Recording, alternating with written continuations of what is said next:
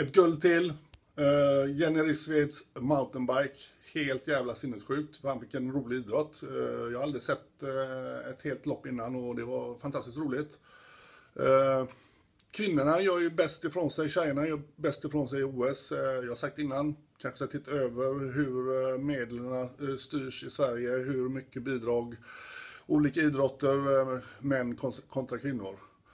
Eh, damlandslaget i fotboll, fantastiskt. Jag dömde ut dem i början och jag får be om ursäkt. Eh, helt otroligt. Silvermedalj i OS. Eh, jag vet hur det känns, jag har två stycken. Så grattis, jävligt bra. Lisa Nordén på trialtonen, det gick ju inte riktigt som i London. hon kunde inte matcha de bästa tjejerna. Lite märkligt, den amerikanska Jörgensen, ett klassiskt Kalle namn by the way.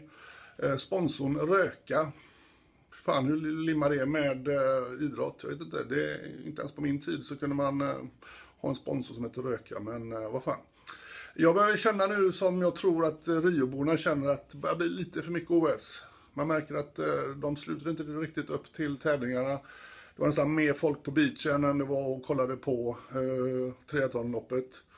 Eh, så att eh, vi kämpar på. Syns imorgon. Hej!